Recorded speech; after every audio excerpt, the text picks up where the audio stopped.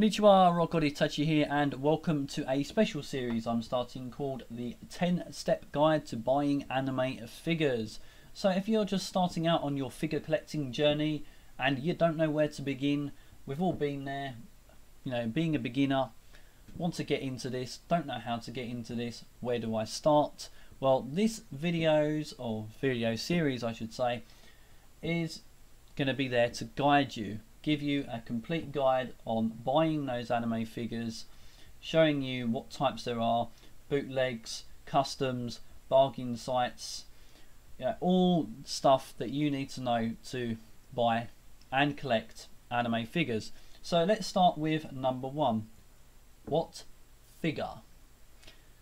Yeah, this is generally the first question you're going to ask yourself. You know, what figure do I buy? Because you've just watched a show and you've really enjoyed yourself watching it and you thought, okay, I want to buy some merchandise from that show and I'm going to go for an anime figure. What one do I buy?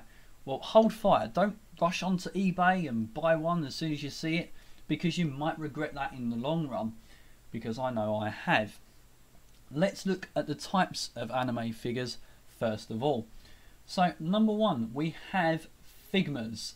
Now, Figmas are like your general action figure. You know, they have posable joints and you can move their arms and their legs and they have accessories. They come with changeable faces so you can change their expressions and sometimes even interchangeable accessories as well. So you can actually change the accessories with other Figmas and therefore in some way create your own anime character if you really wanted to.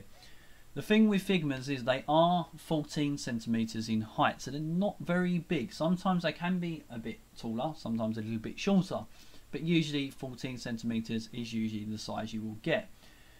They can be displayed. I mean, if you want to be just like me and put them on the display and enjoy them for what they are, then fine. But you'll find with Figmas that people love to pose them. They love to put them in different positions and take photos of them and just generally play with them. After all, if you're buying this kind of thing and you want to enjoy it that way, then that's awesome. I know a lot of people like to keep their uh, figures in the box, which we will touch on that subject subject in a later video. But Figmas, you know, they are just generally there for you to play around with, pose, and enjoy. And that's what I really liked about them, to be honest with you. Now, for prices, now prices will vary because if you are going to buy the newest one that's just come out, or you're going to buy one that's come from a show that's really popular, then you're going to find that they are going to be expensive. But there are Figma bargains out there, and we will talk about bargains in a later video.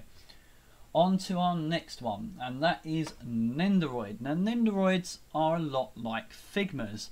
They have the changing faces, they have accessories, and again, interchangeable accessories as well. So what's the difference, you're wondering? Well, they are chibi. So they have a small body, big head. And this makes them cute. This is their appeal. Everybody loves Nendoroids because of the whole cuteness factor. And you'll see what I mean by these pictures because they just do look so, dare I say kawaii. So this is why people go for them because they just have that whole cute factor and you can put them again different poses and you can play with them. And there is just that with them. And it does give you again like the same with Figma endless possibilities of what you can do with them. So you can just enjoy them to a huge extent. You don't just have to leave them on the shelf and that's it. You can play with them every day if you really wanted to. It's entirely up to you. Again prices will vary uh, for the Nendoroids they can go up to um, I'll say this in pounds, about fifty pounds. Um, sometimes a bit more than that. It depends again on the kind of Nendoroid you go for. If you're going for one again that's just come from a popular show, then expect to pay more. Right, on to our next type of figure, the ones I collect, scaled PVC figures. Now there are loads of these out there, and you will see you will be bombarded with them basically because there are absolutely a humongous load of them out there. And uh, they range from about 1 8 scale to 1 4 scale. Now 1 4 scale is like 17 inches, so that is pretty huge. However, there are ones that are bigger than that. So again, it is entirely up to you what you want to go for.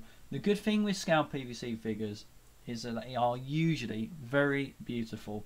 If you buy them from someone such as Kotobukiya, Alter, Good Smile Company, you're going to get a product that's just going to knock your socks off basically because they are going to be produced to the highest standard and you will be very happy with them.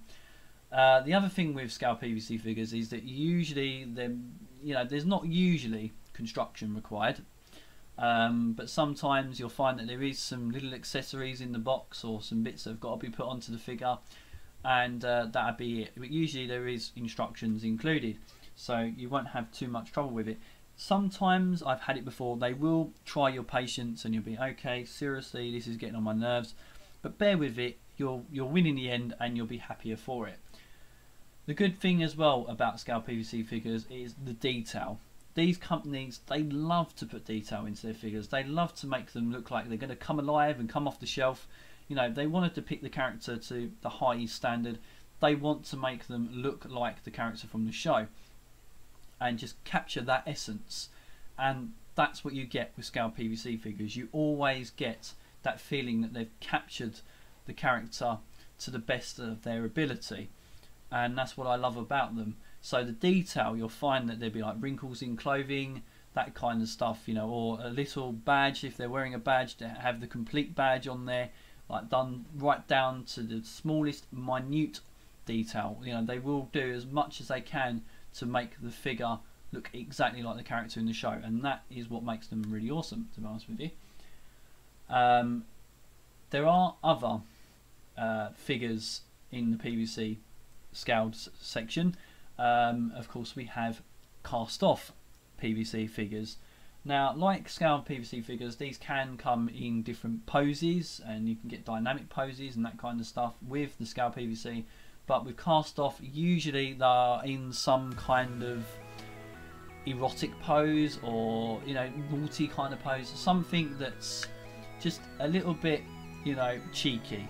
And uh, it's entirely up to you if you want to go for cast off figures because the idea is is that they have got accessories that you can take off and you can view them dare I say in their full glory. Um, and uh, again it's entirely up to you if you want to go for it um, of course, there are erotic figures. I've got to touch on the subject. Apologies. Um, out there, there are ones that uh, are considered to be quite beautiful, and there are also others that are considered to be quite dodgy. It's highly up to you if you want to buy them. It's you know it's, it's your discretion if you want to go for erotic figures. They are out there, and I'm sure you will be able to find quite a lot of them.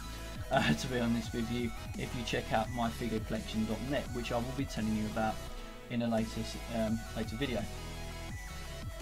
Now, as for the prices, uh, again, it depends on what kind of scale PVC figure you go for because they do vary again in price. You can pick them up cheap, you can pick them up really expensive. The Mizuho Kazami 1-6 scale, I believe it is, it's either 1-5 or 1-6 scale, you're looking at around £500 and I am not kidding you on that that is how expensive they can go up to. So bear in mind what you want to go for before you start collecting because you may find that your bank account won't like you very much. Finally, we move on to Gashapon figures. This is actually not the final one, there's one more to go, so apologies. But Gashapon figures these are smaller versions of your characters. So, you know, you can buy these. These usually around about sort of 4 or 5 inches.